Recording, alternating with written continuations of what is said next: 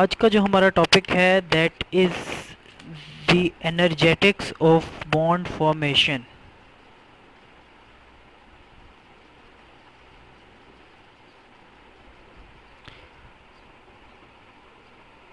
इसमें हमने जो चीज़ देखनी है, वो ये है कि किस तरह से एनर्जी के चेंजेस आते हैं जब भी दो एटम एक दूसरे के करीब आके बॉन्ड को बनाते हैं तो एनर्जी की चेंजेस जो सी हैं, उन एटम्स के अंदर क्या क्या आती हैं? ये चीज़ हमने देखनी है। अगर आपको पिछले चैप्टर की बेसिक्स याद हों, जो चीज़ हमने स्टडी की थी, वो ये थी कि जब भी कोई भी एटम जो सा है, वो बॉन्ड बनाएगा तो उसकी वजह ये होगी केमिकल बॉन्ड की जब कॉज हमने पढ़ी थी तो उसमें से एक वजह ये थी कि they want to be stable और स्टेबल होने का मतलब है कि they want to come at a place where there energy is low वो लो एनर्जी की तरफ़ मूव करना चाहते हैं। जितनी लो एनर्जी होगी किसी भी एटम की, उतना ज़्यादा वो स्टेबल कंसिडर किया जाएगा। और जितनी किसी एटम की हाई एनर्जी होगी, उतना ही वो एटम अनस्टेबल जो है वो कहलाएगा। तो जो modern theory of chemical bonds है that is called that suggest कि जब भी एटम जो हैं, वो बॉन्ड्स बनाते हैं तो उनके दरमियान जो है एनर्जी का डिक्रीज आता है एनर्जी कम होती है। तो जब भी अनस्टेबिलिटी या हाई एनर्जी से वो लो एनर्जी पे जाएगा तो उसको क्या बनाना पड़ेगा? उसको एक अदद केमिकल बॉन्ड जो है वो बनाना पड़ेगा। तो इससे हमें पता क्या चला कि फॉर्मेशन ऑफ़ केमिकल बॉन्ड में एनर्जी क्या होती है? एनर्जी डिक्रीजेस तो ये एक बेसिक पॉइंट आपके कॉन्सेप्ट में क्रिस्टल क्लियर होना चाहिए कि जब भी बॉन्ड बनेगा तो एटम की जो एनर्जी होगी वो एनर्जी का प्रोफ़ाइल जो होगा, वो कम होगा, वो ज़्यादा नहीं होगा। एनर्जी डिक्रीज़ होगी हमेशा in the formation of chemical bond. जब भी कोई एटम बॉन्ड बनाएगा, एनर्जी जो है वो कम होगी। अब हम देखते हैं कि कौन कौन सी फोर्सेस जो सी हैं, एक एटम के दरमियान जो सी है, वो एग्जिस्ट कर रही होती हैं। इसके लिए हम आज अपनी ये जो केस स्टडी करेंगे उसमें हम देखेंगे कि हाइड्रोजन का जो मॉलिक्यूल होता है, उसकी फॉर्मेशन हाइड्रोजन फॉर्मेशन जो है, वो हम स्टडी करेंगे। क्या होता है कि एक हाइड्रोजन का एटम दूसरे हाइड्रोजन के एटम के जब करीब आता है तो कौन कौन सी फोर्सेस जो सी हैं, वो उनमें ऑपरेट करती हैं। Forces that operate between two approaching hydrogen atoms दो हाइड्रोजन एटम्स जो एक दूसरे के करीब आ रहे हैं, उनके दरमियान कौन कौन सी फोर्सेस जो सी हैं, वो वर्कआउट कर रही हैं। तो दो तरह की फोर्सेस होती हैं। Number one are the attractive forces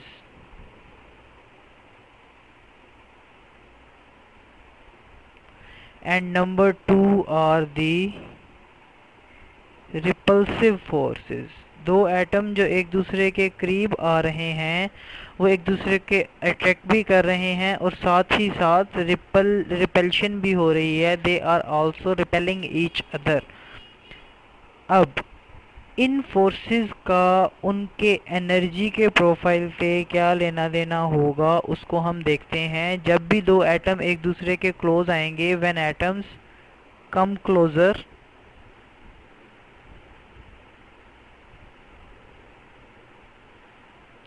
कौन सी फोर्स परफॉर्म कर रही है? अट्रैक्टिव फोर्स जब भी अट्रैक्टिव फोर्स अमल में आएगी एटम एक दूसरे के करीब आएँगे और जो सी उनकी पोटेंशियल एनर्जी है, वो क्या होगी? पोटेंशियल एनर्जी डिक्रीजेस जब भी एटम एक दूसरे के करीब आएँगे तो उनके दरमियान मौजूद पोटेंशियल एनर्जी जो है, वो कम होगी। ज़ाहिर सी बात है कि जब वो एक दूसरे से दूर हैं तो उनको कोई चीज़ करीब आने से रोक रही है, क्योंकि उनके दरमियान अट्रैक्टिव फोर्सेस जो सी हैं, वो ऑपरेट कर रही हैं तो उसका मतलब है उनके अंदर पोटेंशियल एनर्जी मौजूद थी। तो जब अट्रैक्टिव फोर्स अमल करेगी, एक दूसरे के करीब आएँगे तो पोटेंशियल एनर्जी जो है, वो क्या होगी? एनर्जी का प्रोफ़ाइल जो होगा, वो डिक्रीज हो जाएगा। अब दूसरे एंड पे जो सी फोर्स काम कर रही है that is the repulsive force repulsive force क्या करेगी कि एटम्स को एक दूसरे से दूर रहने पर मजबूर करेगी। Atom will not come closer atom एक दूसरे से दूर जाएँगे रिपल्सिव फोर्सेस के नतीजे में और रिपल्सिव फोर्सेस के नतीजे में जो पोटेंशियल एनर्जी है वो अब बढ़ेगी। क्योंकि एटम्स जो से हैं वो एक दूसरे से दूर जा रहे हैं। और अब ये सारे का सारा काम these two forces are operating simultaneously. This is important. मतलब क्या हुआ? मतलब ये कि दोनों फोर्सेस एक ही वक्त में काम कर रही हैं। एक फोर्स जो है, वो पोटेंशियल एनर्जी को कम कर रही है और दूसरी फोर्स जो है, वो पोटेंशियल एनर्जी को बढ़ा रही है। और हमें पता है कि हमें बॉन्ड बनाना है। हमें बेसिकली बॉन्ड फॉर्मेशन चाहिए। तो बॉन्ड तभी बनेगा जब एटम्स एक दूसरे के करीब आएँगे। इसका मतलब क्या है कि बॉन्ड उस सूरत में बनेगा जब अट्रैक्टिव फोर्स जो है वो ज़्यादा होगी रिपल्सिव फोर्स की नस्बत। इसको आप इस तरीके से समझें कि एक मेरे पास फॉर एग्ज़ाम्पल एक ब्लॉक है। इसको दो साइड से फोर्स लग रही है।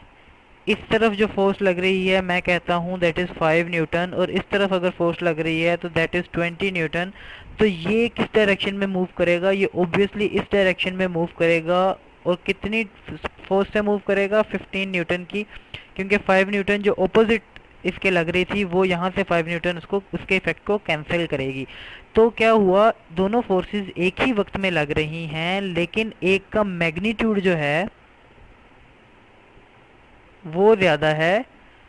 हाई मैग्नीट्यूड और एक का मैग्नीट्यूड जो है, वो लेस है तो ऑब्वियसली बॉडी उस फोर्स के अंडर काम करेगी जिसका मैग्नीट्यूड ज़्यादा है। सिमिलरली आपका जो एटम है, उसके ऊपर भी जो है, दो फोर्सेस लग रही हैं। एक एट्रैक्टिव रिपल्सिव फोर्स है and other one is the attractive force अब वो कहता है कि नॉर्मली जो चीज़ हमारे देखने में आती है, वो ये है कि अट्रैक्टिव फोर्स का जो मैग्नीट्यूड है that is high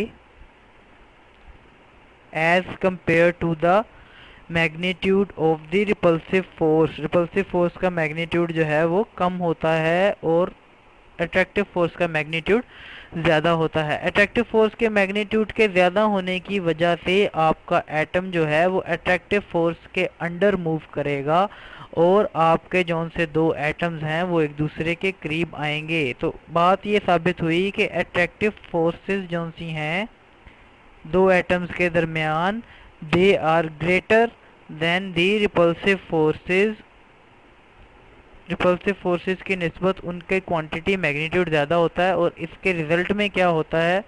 Atoms come closer to each other क्योंकि करीब आना जो है बॉन्ड बनने की पहली और आखिरी शर्त है, जब तक दो एटम एक दूसरे के नज़दीक नहीं आएँगे, उनके दरमियान बॉन्ड का बनना जो सा है, वो पॉसिबल नहीं होगा। तो ये तो जनरल हमने फोर्स की तरतीब देखी कि कौन कौन सी फोर्सेस अमल कर रही हैं और उनमें से कौन सी डोमिनेंट है और कौन सी रिसेसिव है। अब हम चलते हैं अपने हाइड्रोजन एटम की फॉर्मेशन के एनर्जी डायग्राम की तरफ़। अगर ये आपके पास एक पोटेंशियल एनर्जी का ग्राफ में अगर बनाऊँ, ये इस इस डायरेक्शन में अगर पोटेंशियल एनर्जी बढ़ रही है तो आपके पास जो ग्राफ बनेगा, वो कुछ ऐसा बनेगा। ये आपकी बुक में भी जो है वो मौजूद है। इसको अब इस तरह से देखें कि इस तरफ़ अगर पोटेंशियल एनर्जी बढ़ रही है तो यहाँ पर अगर इस केस की हम बात करें, इस पॉइंट की हम बात करें तो इस पॉइंट के ऊपर पोटेंशियल एनर्जी ज़्यादा है। इसका मतलब क्या है कि आपके पास जो से हाइड्रोजन के एटम्स हैं they are far away from each other जैसे जैसे आप नीचे आते जाएँगे, आपके पास हाइड्रोजन एटम जो से हैं, वो एक दूसरे के करीब आते जाएँगे।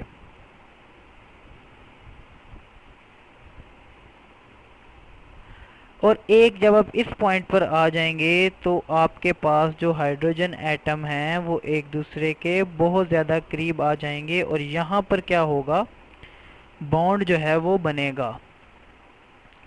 अभी हमने ऊपर यही चीज़ देखी थी कि जब एटम एक दूसरे के करीब आते हैं तो एनर्जी क्या होती है? कम होती है।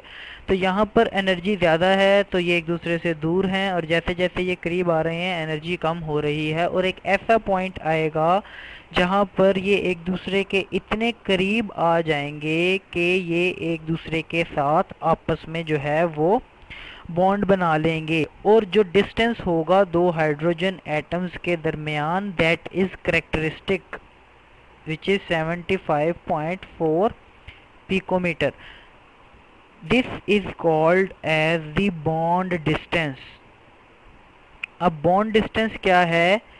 कि जब तक एटम दो हाइड्रोजन के 75.4 पिकोमीटर डिस्टेंस से एक दूसरे के करीब नहीं आ जाते आपके पास बॉन्ड फॉर्मेशन नहीं होगी बॉन्ड जो है आपके पास वो नहीं बन सकेगा। तो this is very important to understand here कि बॉन्ड डिस्टेंस जो है वो बहुत ज़्यादा जो सा है वो इम्पोर्टेंट है। अब अगर इस लेवल के ऊपर आप पोटेंशियल एनर्जी को देखें तो पोटेंशियल एनर्जी इज़ 436 पॉइंट अगर इस पॉइंट को आप देखें दिस पॉइंट तो यहाँ पर जो पोटेंशियल एनर्जी की वैल्यू है दैट इज़ 436.45 किलो जाउल पर मोल इसके साथ नेगेटिव साइन है। नेगेटिव साइन मींस के energy is being evolved energy is evolve इसका क्या मतलब हुआ? ज़ाहिर सी बात है कि आपके पास दो एटम जो थे, वो दूर दूर थे। अब वो एक दूसरे के करीब करीब आ गए हैं। यहाँ पर पोटेंशियल एनर्जी जो थी, वो हाई थी। और यहाँ पर जो पोटेंशियल एनर्जी है, वो लो है। फॉर एग्ज़ाम्पल अगर यहाँ पर 200 थी और यहाँ पर 50 है तो ये इस जो डिस्टेंस इसने ट्रैवल किया, इसमें जो 150 किलो जॉल एनर्जी का जो डिफरेंस है, वो कहाँ गया? वो एनर्जी की शक्ल में बाहर निकल आया, जिसको हम कहते हैं एनर्जी इवॉल्व इसी तरह जो कि आपके हाइड्रोजन एटम्स जो कि दूर दूर थे, वो जब एक दूसरे के करीब आए और कितने डिस्टेंस पे करीब आ गए, जो कि अभी हमने बॉन्ड डिस्टेंस पढ़ा था विच इज़ 75.4 पिकोमीटर तो अब इस डिस्टेंस के दौरान, इतने करीब आने के दौरान जो पोटेंशियल एनर्जी इसमें से निकली है वो वैल्यू जो है करेक्टरिस्टिक होगी और वो 436.45 किलो जाउल पर मोल होती है for one mole of hydrogen atom तो ये एनर्जी की वैल्यू जो है, ये करेक्टरिस्टिक वैल्यू है इस डायग्राम में कि इतने करीब जब आ जाएँगे तो आपके पास जो है वो बॉन्ड जो है वो फॉर्मेशन हो जाएगी।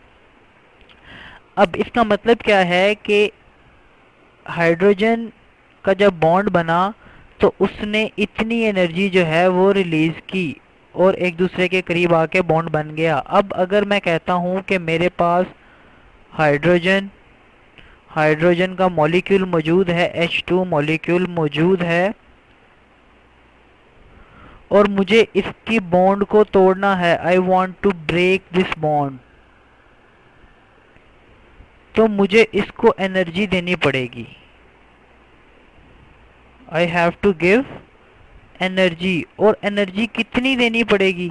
सवाल ये पैदा होता है कि how much energy how much energy का आंसर ये है कि जितनी एनर्जी इस बॉन्ड ने बनते वक्त निकाली थी अपने अंदर से, उतनी एनर्जी इसको दूँगा तो फिर ये हाइड्रोजन के एटम वापस सेपरेट चले जाएँगे। सिंपल सी बात है कि हाइड्रोजन के दो एटम दूर थे, जब वो एक दूसरे के करीब आए तो उन्होंने एनर्जी दी 436.45 किलो जाउल पर मोल।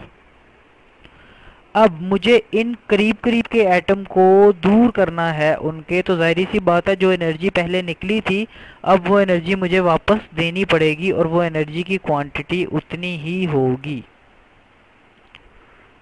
तो this is called as the bond energy यहाँ पर जो कॉन्सेप्ट ऑफ़ बॉन्ड एनर्जी है, वो आपके माइंड में आ जाना चाहिए इस सारी डिस्कशन से।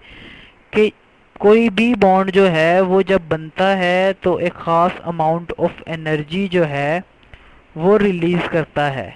और जब बॉन्ड टूटता है तो वही ख़ास अमाउंट ऑफ़ एनर्जी हमें उसको देनी पड़ती है which is called the bond energy तो यहाँ पर जो चीज़ हमने इसके अंदर पढ़ी कि एनर्जी जो है, वो कम हो जाती है, और बॉन्ड जो है, तभी फॉर्मेशन होगी बॉन्ड की जब आपके पास एक स्पेसिफिक अमाउंट ऑफ़ या डिस्टेंस जो इम्पोर्टेंट चीज़ है यहाँ पे वो ये है कि आपके पास बॉन्ड डिस्टेंस या बॉन्ड लेंथ जिसको हम कहते हैं, जब तक वो अचीव नहीं होगी बॉन्ड नहीं बनेगा, जब तक दो हाइड्रोजन के एटम 75.4 पिकोमीटर जितना नज़दीक नहीं आएँगे, उनके दरम्यान इतना फासला नहीं होगा, तब तक बॉन्ड नहीं बनेगा। और दूसरी चीज़ हमने पढ़ी बॉन्ड एनर्जी कि जब भी बॉन्ड बनेगा तो आपके पास एनर्जी रिलीज़ होगी। यहाँ से ऑब्जेक्टिव टाइप में जो क्वेश्चन आ जाता है कि bond formation is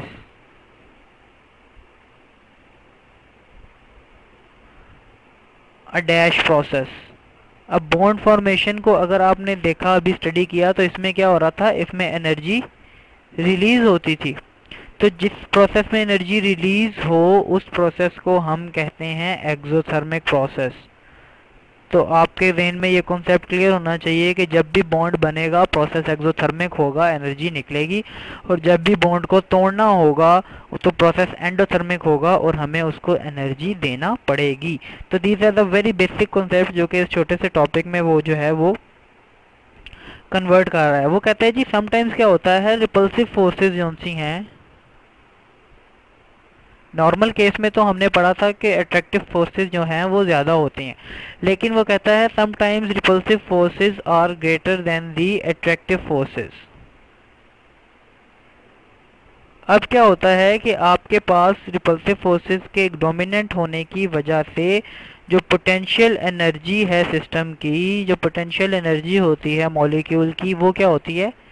इंक्रीज हो जाती है और पोटेंशियल एनर्जी इंक्रीज होने की वजह से बॉन्ड फॉर्मेशन जो है वो नहीं हो पाती। तो ये आपके जहन में मौजूद रहनी चाहिए। बात के बॉन्ड फॉर्मेशन जो है वो नहीं होगी इस केस में। जब रिपल्सिव फोर्सेस जो हैं वो डोमिनेंट होंगी एट्रैक्टिव फोर्सेस से तो उसके नतीजे में आपके पास जितने भी करीब आ जाएँ आपके एटम्स बॉन्ड फॉर्मेशन नहीं हो सकेगी क्योंकि एनर्जी का जो प्रोफ़ाइल है, जो potential energy system of the profile है, वो जो है, वो खासा ज़्यादा होगा। तो एनर्जी जब भी बॉन्ड बनेगा एनर्जी कम होगी। तो अभी जो चीज़ें हमने इस टॉपिक में स्टडी की, वो ये थी कि हमने हाइड्रोजन एटम को देखा। हमने सबसे पहले देखा कि बॉन्ड फॉर्मेशन के रिज़ल्ट में क्या होता है? एनर्जी डिक्रीज होती है। जब भी दो एटम करीब आते हैं पोटेंशियल एनर्जी क्या होगी? कम होगी। और जब बॉन्ड बनेगा तो bond formation is associated with two factors जो कि हमने देखे हैं इस टॉपिक में। I am summarising the topic now bond formation के अंदर पहली चीज़ थी बॉन्ड लेंथ जो कि करेक्टरिस्टिक होती है किसी भी एटम की। हाइड्रोजन के केस में 75.4 इसी तरह हर डिफरेंट मॉलिक्यूल के लिए डिफरेंट बॉन्ड लेंथ होगी। और दूसरी चीज़ थी बॉन्ड एनर्जी और बॉन्ड एनर्जी भी हर मॉलिक्यूल की करेक्टरिस्टिक है, हर मॉलिक्यूल के लिए डिफरेंट होगी। जब तक दोनों एटम्स के दरमियान बॉन्ड लेंथ और बॉन्ड एनर्जी जो रिलीज़ होनी है, वो इक्वल क्वांटिटी और रिक्वायर्ड अमाउंट में रिलीज़ नहीं होंगे बॉन्ड फॉर्मेशन नहीं होगी। तो बॉन्ड फॉर्मेशन के लिए these are the two parameters और थर्ड चीज़ जो लास्ट चीज़ हमने देखी, वो ये थी कि potential energy of the system जो सी है, वो इंक्रीज कर जाएगी if repulsive forces are dominant.